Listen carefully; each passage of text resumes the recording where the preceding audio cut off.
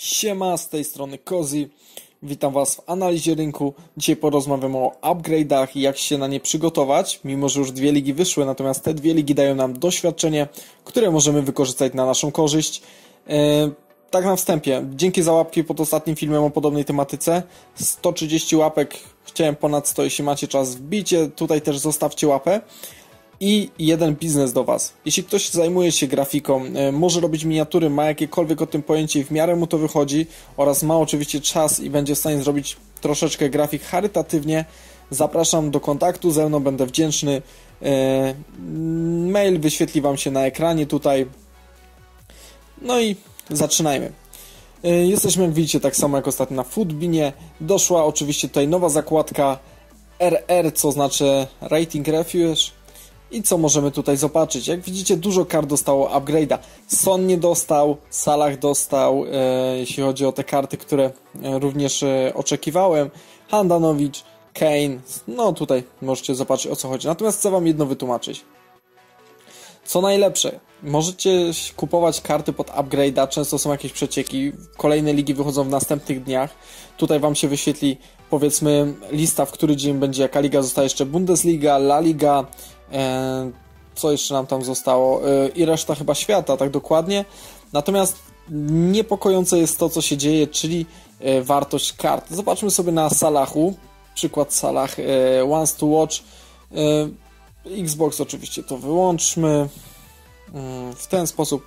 Jak widzicie, upgrade jeśli chodzi o Salaha był dokładnie w 23, czyli w piątek. I zobaczcie na cenę 23. E, tutaj chyba nie będziemy mogli tak wrócić bardzo aż do tej kwoty. Natomiast dzienną mniej więcej. 23 200, 624, przepraszam, e, tysięcy monet.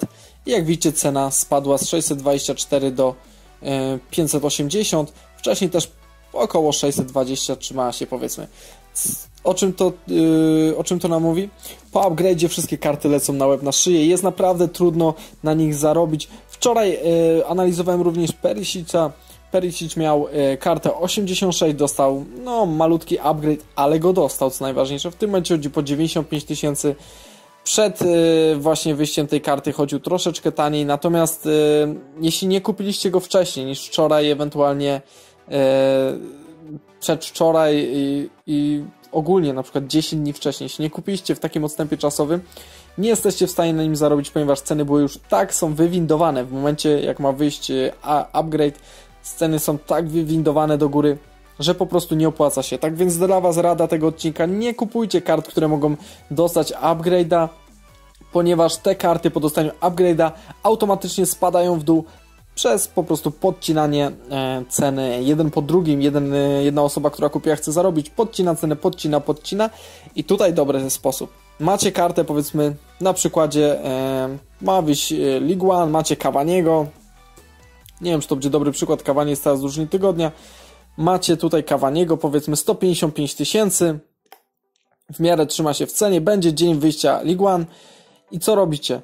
o 18 sprzedajecie tego Cavaniego. Dlaczego go sprzedajecie? Ponieważ on najprawdopodobniej dostanie upgrade tej, tej, tej karty i w momencie, kiedy o 18 sprzedacie go za 180-190 tysięcy, to po prostu mm, po, e, kupicie go o 19, jak wyjdą upgrade 19.5, 6, 19.10, kupicie go taniej e, niż 180, powiedzmy z powrotem za 150, co jest w tym momencie, ponieważ osoby, które kupiły te wszystkie karty pod zarobek, pod potencjalny upgrade, będą podcinać sobie ceny i ceny lecą na łeb na szyję. Tak więc jeśli chodzi o y, inwestycje, po prostu nie stratcie na tym, o, tym o, ten, o to chodzi w tym odcinku. O inwestycje w karty, które staną upgrade'a y, w 100% nie polecam.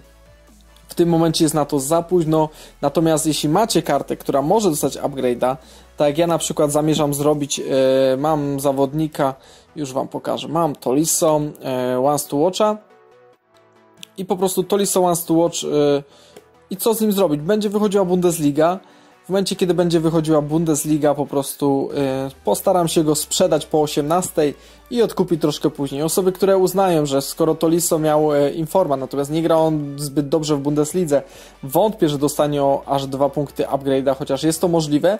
Natomiast nawet jeśli dostanie, to te ceny znowu zostaną yy, podcięte bo po prostu te upgrade'y nie dają aż tak dużo, żeby ludzie mm, windowali ceny w górę. Nie jest aż, aż tak duży to przeskok, e, jeśli o to chodzi. E, na przykładzie też Sona mogę Wam pokazać. No, po kolei Wam pokazuję teraz kilka przykładów. Szybko ten odcinek przelecimy. E, wiecie mniej więcej o co chodzi. Przykład Sona 200 ile chodzi? 240 chodzi w tym momencie 1087. Chodzi po ponad 300 tak naprawdę, ponieważ ludzie czekali na tego upgrade'a, nie wyszedł, poleciała jego cena w dół. Bardzo szybko, mimo że cały czas przez około miesiąc, powiedzmy, no nie wiem czy miesiąc, ale utrzymywała się cena około 300 tysięcy monet. A tak naprawdę w piątek było go jeszcze taniej e, wyrwać, bo zobaczcie 250, a to jest średnia cena. Zobaczymy, czy tutaj na sobotę jest e, jakaś cena 250, 240. Widzicie, 240 o 19 była w, w piątek. O, w piątek. To jest piątek, tak? Tak, w piątek była 240, czyli poleciał 60 tysięcy w dół. No cóż, no tak to wygląda, tak więc nie polecam w tym momencie inwestowania w karty specjalne pod upgrade. Macie kartę, która może dostać z danej ligi, sprzedajecie o godzinie 18 tego samego dnia po 19 odkupujecie sobie ją, a może nawet wersję lepszą, a nawet jeśli odkupicie ją, no to cóż, no, no będziecie do przodu kilkadziesiąt tysięcy. Tak więc na tyle dzisiaj chciałem się z wami tymi przemyśleniami podzielić. Są jeszcze tak naprawdę trzy albo cztery ligi, zobaczycie tam wcześniej na grafice, którą wrzucę, jeśli chodzi o upgrade'y. Nie straćcie na tym, a zarobić możecie, jeśli macie karty specjalne dobrych zawodników. Pozdrawiam Was, siema!